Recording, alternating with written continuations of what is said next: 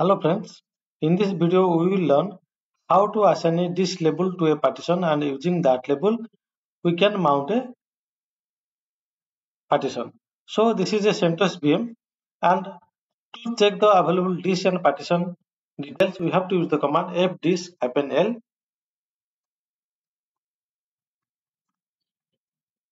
Now you can see here SDA hard disk is available and from that hard disk I have created a partition SDA1 now what we will do, we will assign this label to the SD1 partition. So friends, if you are new to my channel, please subscribe my channel and don't forget to like, share and comment.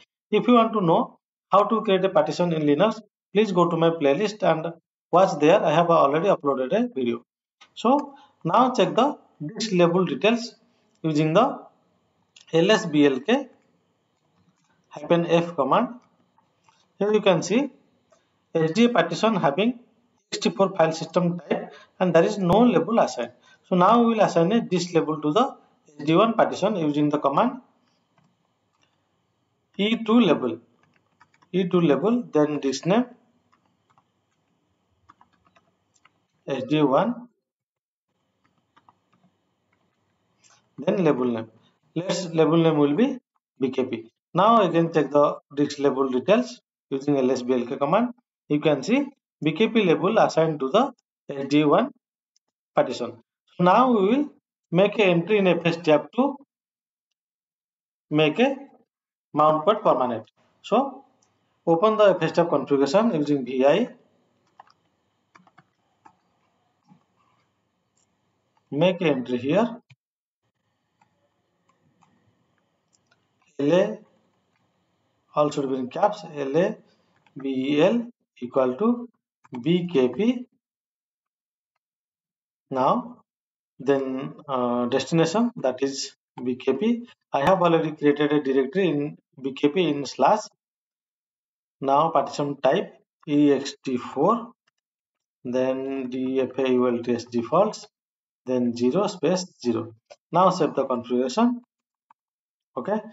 Now check the fstab configuration using the command mount hyphen hyphen a. Before running the mount hyphen k, use the command df hyphen h to see the all mount points. You can see this BKP already mounted. So please unmount the partition, unmount the mount point.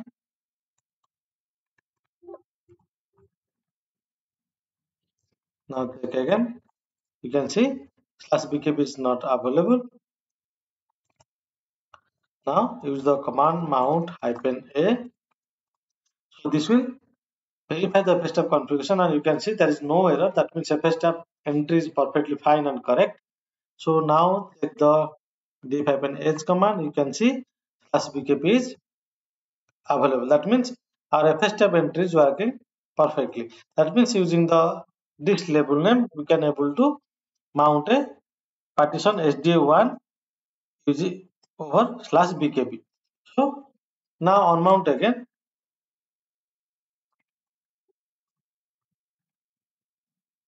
Try to mount manually using mount command. Again df hyphen h. You can see again it is mounted. That means using this label we can able to mount a partition over slash bkp. So friends, this is the way we can assign a disk label and using the disk label we can mount a partition. So friends, if you are new to my channel, please subscribe my channel and don't forget to like, share and comment. Thank you.